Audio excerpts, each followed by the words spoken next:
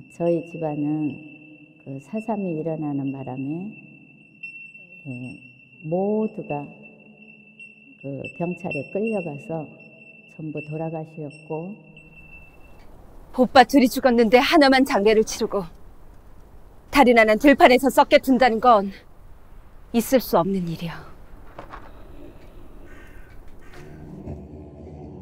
차지하는 용과 원한을 푼 동생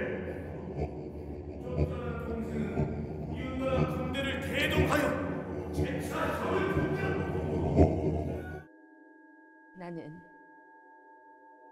내 가족을 흙으로 돌려보낸 것 뿐이에요. 그건 인간의 의무야. 인간다운 삶을 위해 국가가 있는.